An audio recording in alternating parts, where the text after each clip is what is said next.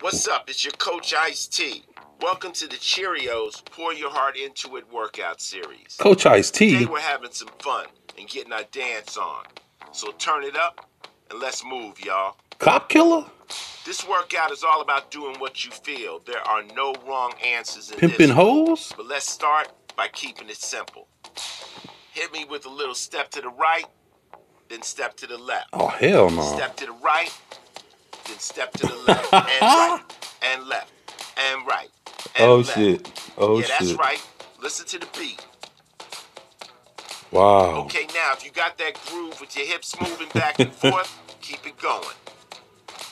Can't believe There this shit. go. We're gonna keep it simple. Don't have to go crazy here. Just follow after me.